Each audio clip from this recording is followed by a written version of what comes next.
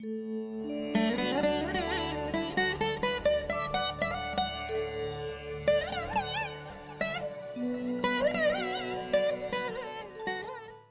Video மாணவர்கள் அனைவருக்கும் இனிய நல்வாழ்த்துக்கள்.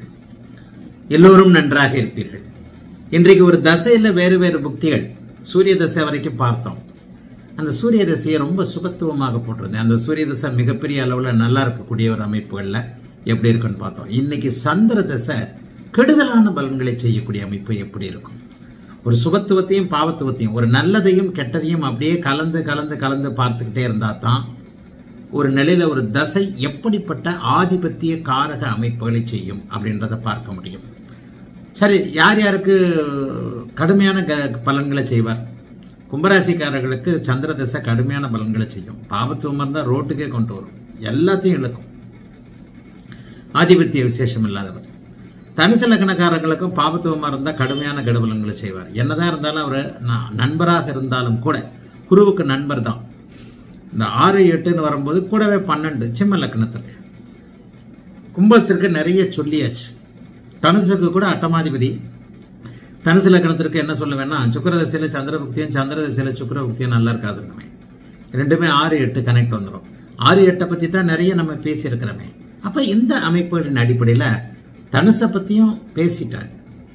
பாபத்துவமாக பேசணும்னு ஒரு பார்க்க வேண்டும் சொல்லித்தர வேண்டும் அப்படிங்கிற ஒரு இது வந்துடுச்சு. அப்போ நம்ம தனுசு லக்னத்தை விட்டுட்டு இன்னொரு பாவத்துவமான அப்படி ஒன்றும் பெரிய ஆதிபத்திய விசேஷம் இல்லாத நண்பராக இருந்தாலும் ஆதிபத்திய விசேஷம் இல்லாத கொடுக்க இயலாத தன்மையில் இருக்கக்கூடிய ஒரு அமைப்பு என்னன்னு பார்த்தா சிம்ம லக்னம் தான். அப்போ சிம்ம லக்னத்திற்கு அவர் பன்னிரெண்டாம் அதிபதி. அப்போ பன்னிரெண்டாம் அதிபதியாக வரும்போது ஒரு நிலையில் கடுமையான கெடுபலன்களை எப்போ செய்வார்?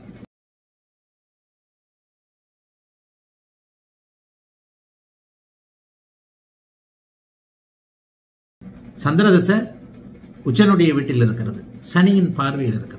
செவ்வாயின் வீட்டிலிருந்து சனியின் பார்வையில் இருக்கிறது. என்னோட கோணம். உச்சனுடைய வீடுன்னு சொல்லிட்டேன் செவ்வாயினுடைய வீடுன்னு சொல்லிட்டேன். உச்சனுடைய வீடு செவ்வாயின் வீடு. கூடவே ராகு. ராகு நெருக்கமாக போட்டுக்கங்க. ராகு. ஆக என்ன நடக்கும்? முப்பத்தி ஆறு நாற்பது வயசு வரைக்கும் முப்பத்தாறு வயசு வரைக்கும் நாற்பது வயசு வரைக்கும் தாயார் இருந்ததே. ஒரு நிலையில் அம்மா இருந்ததே வந்து ஒரு நிலையில் பார்த்தீங்கன்னா அது வந்து ஒரு யோகம். எது? சந்திரனுடைய திக்பலமும் உச்சனுடைய வீட்டில் நீச்ச பங்கமாக இருந்ததுனால தான் அம்மா இருந்திருக்கிறார். இல்லைன்னா அம்மா இருந்திருக்க மாட்டார். பிறகும்போதே. அப்போ சந்திரதசை வந்தவன என்ன? தாயை பாதிக்கும். தாயினுடைய உயிரை பாதிக்கும். சந்திர சந்திரதசையில் தாய் விரயமாவார். சந்திரதசை ராகு புக்தியில் தாய் விரயமாவார். ராகு ராகபக்தி தாயை இழக்க வைக்கும். ஏன்னா கடுமையான ஒரு கெடுபலன்கள் உள்ள இருக்கக்கூடிய அமைப்பில் சந்திரதசை நான் இதை பற்றி இந்த நாலாம் அதிபதி உச்சமாக இருக்கிறாரு. நான்காம் அதிபதி உச்சமாக இருக்கின்ற காரணத்தினால் மட்டுமே அவருக்கு ஒரு நாற்பது வயது வரை தாய் உயிரோடு இருக்க அனுமதிக்கப்படுகிறது. இந்த இந்த நான்காம் இடம் நான்காம் அதிபதி வலுவாக இல்லைனா.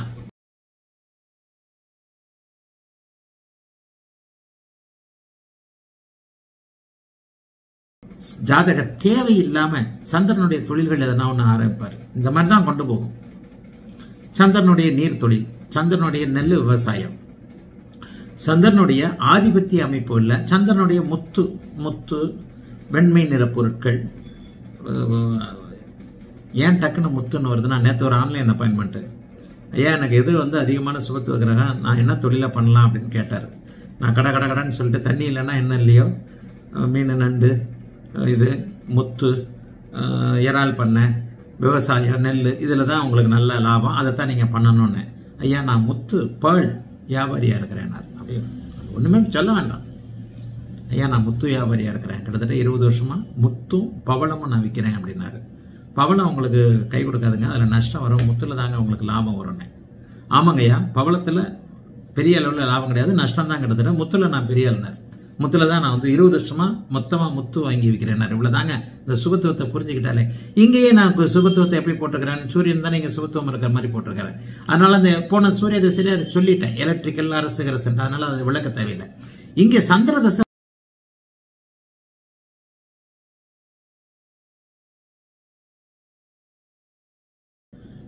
பன்னிரெண்டு சந்திரன் பன்னிரெண்டாம் அதிபதி விரையாதிபதி.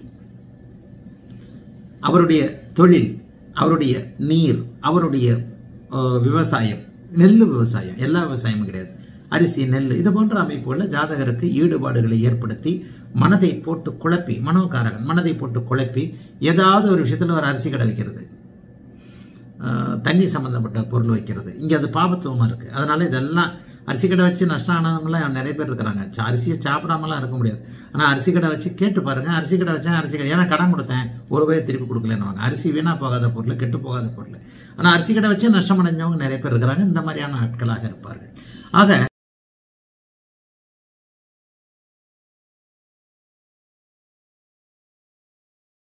இங்கே பார்த்தீங்கன்னா சந்திரதச சனி பக்தி கடுமையான கெடுவன் செய்யும் யாரு ஏழுக்குடையவர் கடன் தான். கடன் அமைப்புகள் மனக்கலக்கம். ஆறாம் இடம் என்பது மனக்கலக்கத்தை குறிக்கக்கூடிய ஒரு மிகப்பெரிய அமைப்பு. ஆறாம் இடத்துல தான் இனம் புரியாத மனக்கலக்கம். அப்போ அது படுத்துக்கிட்டே கிடக்கும்போது ஃபேன் தூக்கி நம்ம தலைமையில் விழுந்துருமோ? இப்போவே செத்து போயிடுவோமோ?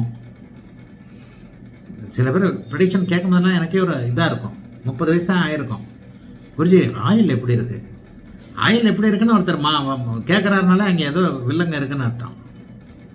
முப்பது வயசு ஆளுக்கு எப்படி ஆயிலை பற்றி கவலை வரும்? யோ போயா நான் மலையிலேருந்து குதிச்சா கூட தப்பிச்சுக்குவேன் அப்படின்னு ஒரு ஸ்டார் பவர்ஃபுல்லாக ஒரு இதாக தன்னம்பிக்கையோடலாம் சில பேர் இருக்கிறாங்கல்ல இங்கே அந்த இதெல்லாம் இருக்காது. ஆறாம் அதிபதி புக்தி நடந்தாலே மனக்கலக்கம் வந்துடும் ஆக்சிடென்ட் ஆகிடுமோ அப்படி ஆகிடுமோ காரில் போனால் காரில் போனால் இதே வராது. இதே தூக்கமே வராது. கார்காரன் டிரைவர் எங்கேயா கொண்டு விட்டுருவானோ? இப்படி இப்படி அப்படி இப்படி இந்த ஆறாம் அதிபதி புக்தி அந்தரங்கள் இப்படி தான் இருக்கும். அப்போ இங்கே